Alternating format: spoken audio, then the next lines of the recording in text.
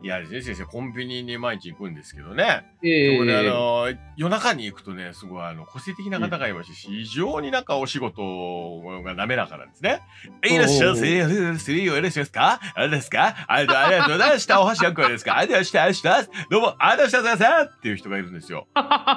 ミスターテンプレートって僕心の中で呼んでるんですけども、まあ、一そのトーンでこうね、こう、ナチュラルにやってる方なんですけどな最近入ってこられたんです、その方はね。うんうん1ヶ月前ぐらいに。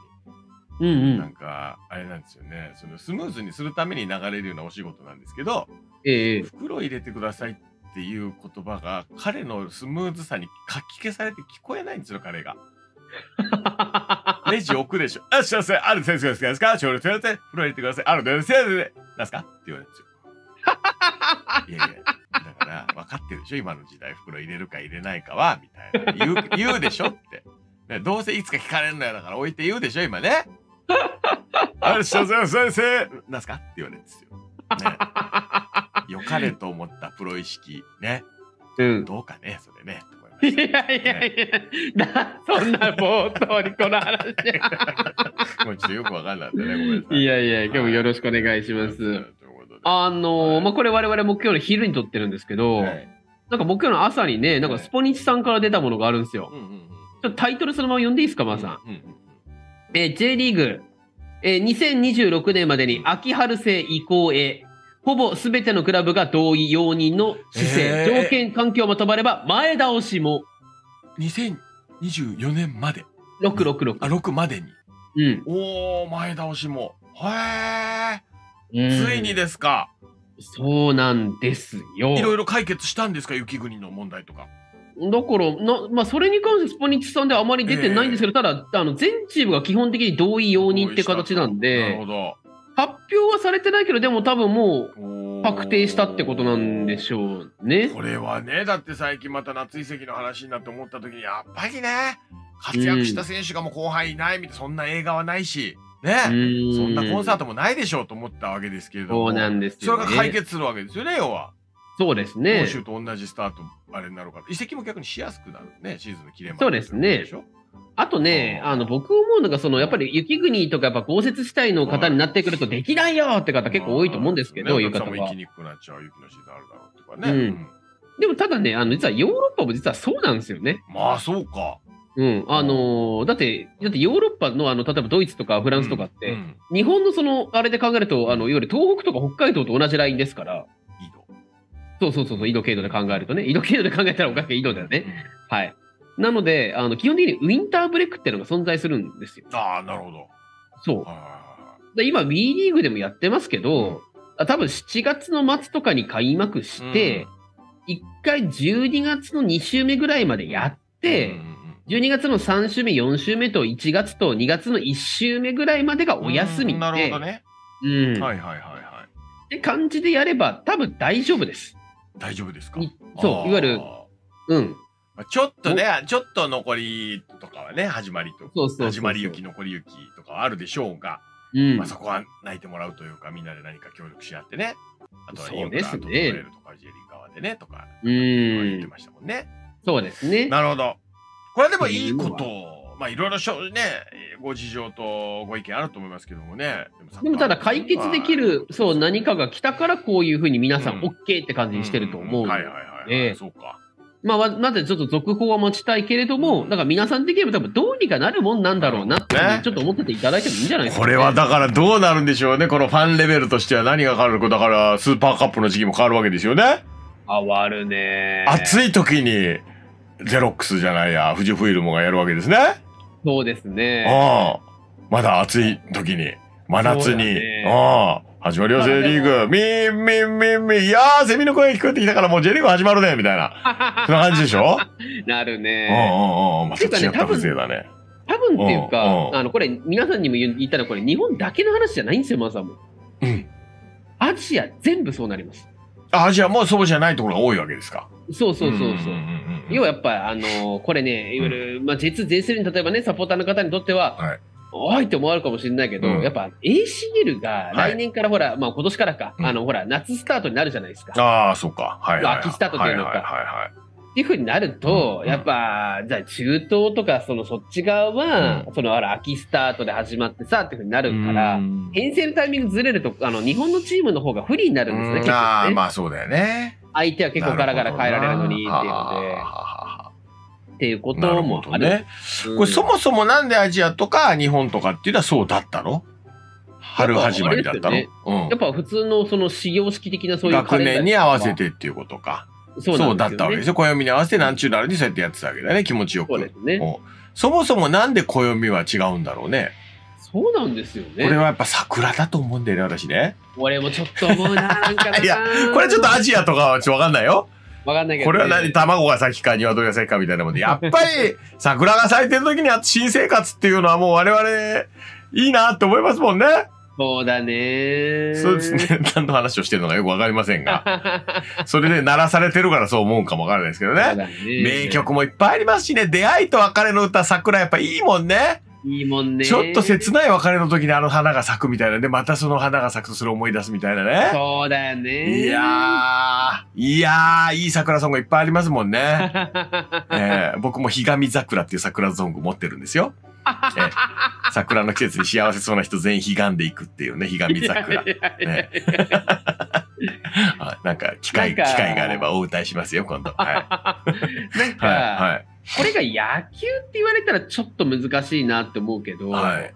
ほら、やっぱほら、ドラフトってのが秋にあった上でじゃないと、うん新加入選手ってのが入ってこない野球そうだね。学生ベースであるから。そうなのよなるほど。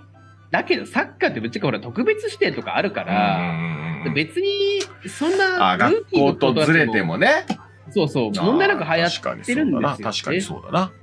で B リーグの方でもそれで問題なくやっぱりやってきたなってのがあるかうんら、じゃあいけるというか、多分だから今回、その、全チームがいけるっていうふうに納得したのも。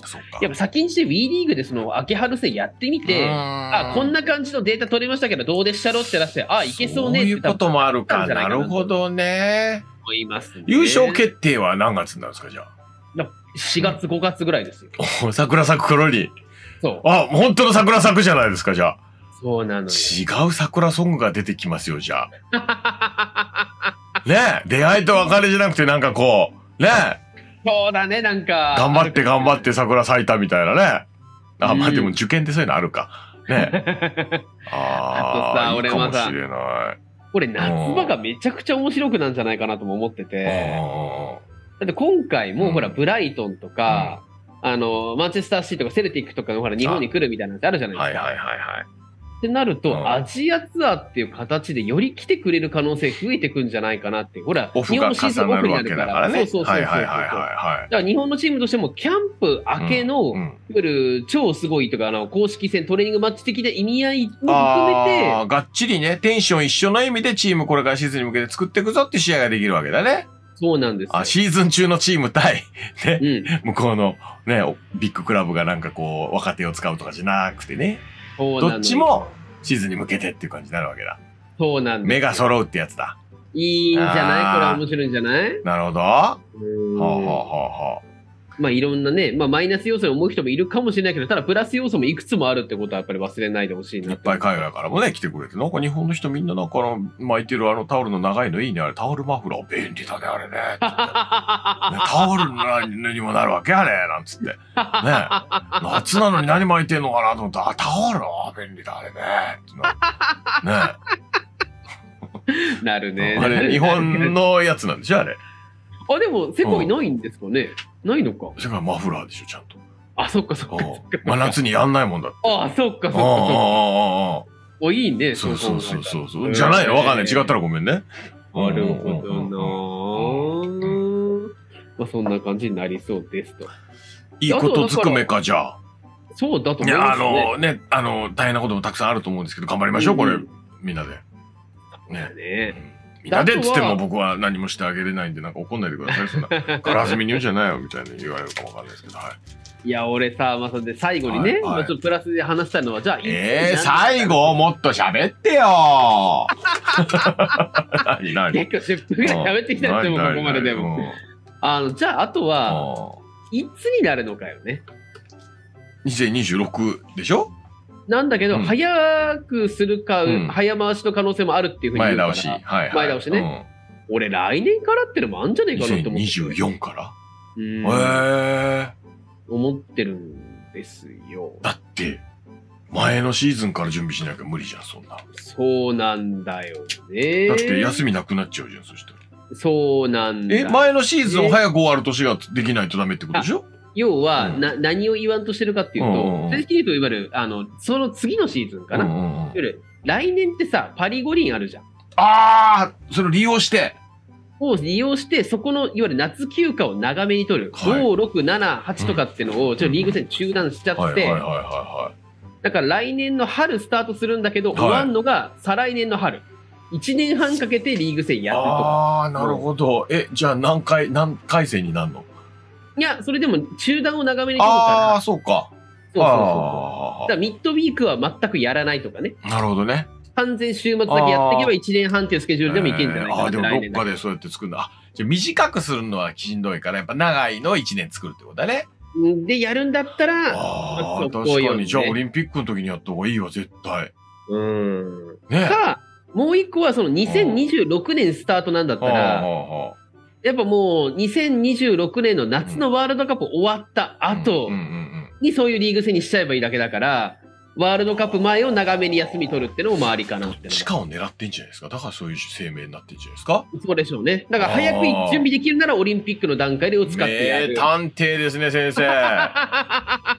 そうか。どっちかなんだろうなと思います探偵。はいはい。でもそれはうん。J リーグとしてはやりたいんだその2024でやりたいんじゃないね早く。うえ。ん。ーいいですね。なんかね、これ、やっぱりこう言えるのが、はその、もうその、まさにほら、今年からさ、お金の流れ変わったじゃないですか、J リーグって。はい。あの、ほら、う上位に結構お金が配分されるってので。じゃあ、その、じゃあ、下位 J1 の下位クラブ、もしくは J2、J3 クラブってどうやってお金を稼ぎ出さなきゃいけないかって、もうモデルとしてはもう2つぐらいしかないんですよ。うんはい一つはやっぱりほら、地元の皆さんをいっぱいこう、やっぱり招いたり、招いて、招くっていうか、スタジアム集客して、はい。それの売り上げでフィーを上げていくっていうパターン、はい。はいはいまたはスポンサー増やすってパターンですけど、はいはい。もう一個やっぱりね、移籍金なんですよ。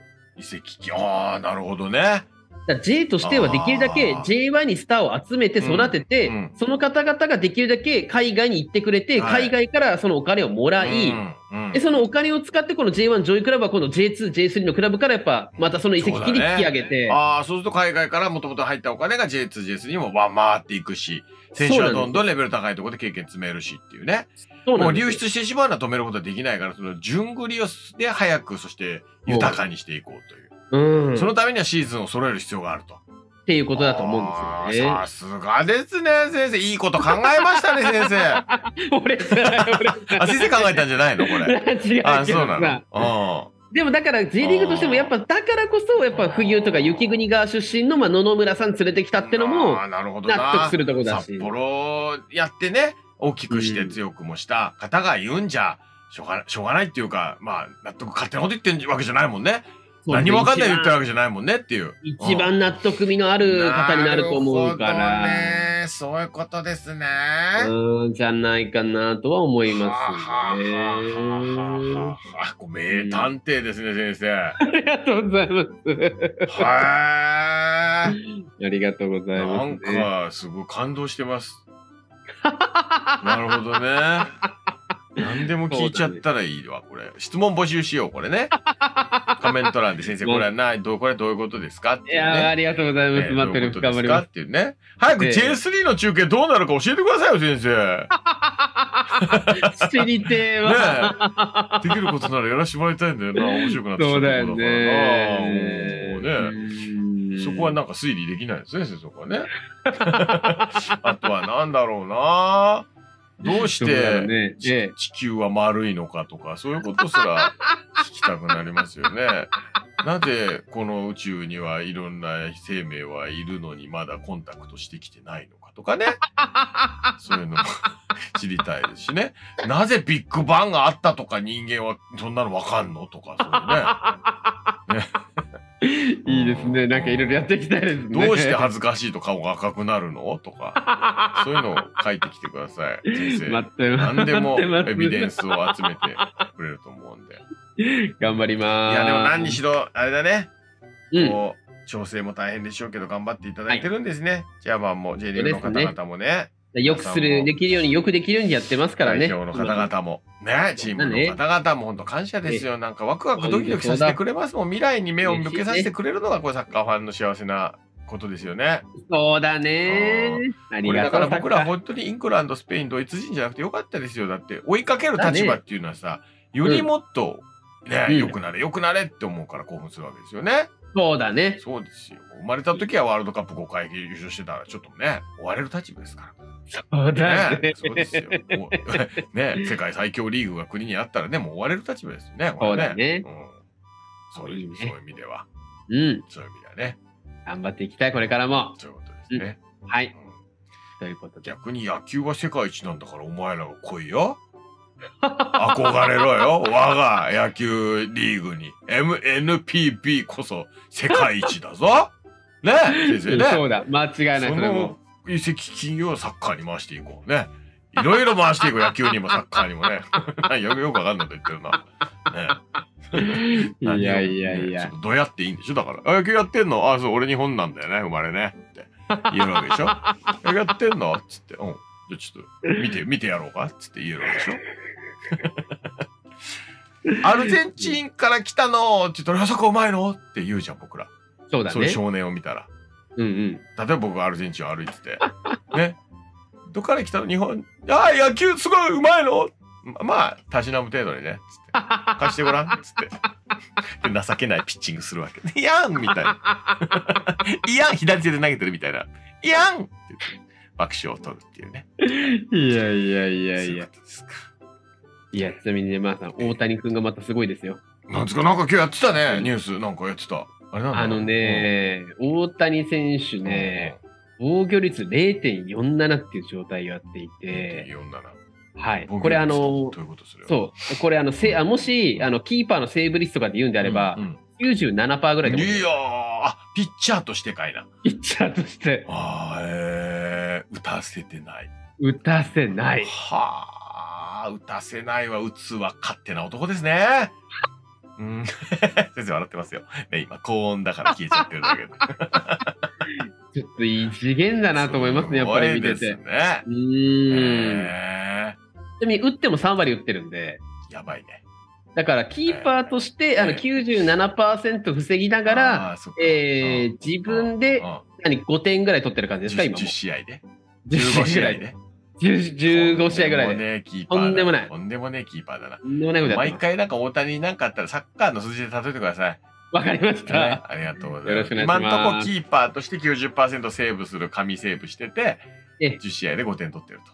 はい、そういうことです。わかりました。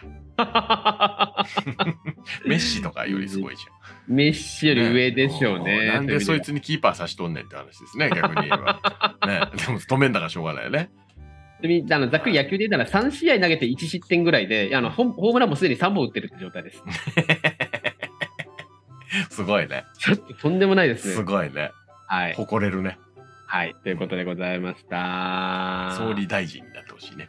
ありがとうございました。ありがとうございました。じゃあねまたで頑張れ。